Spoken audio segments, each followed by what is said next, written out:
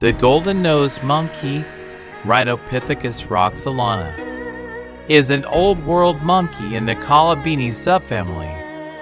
This monkey is endemic in small areas with moderate climate, mountainous forests in central and southwestern China.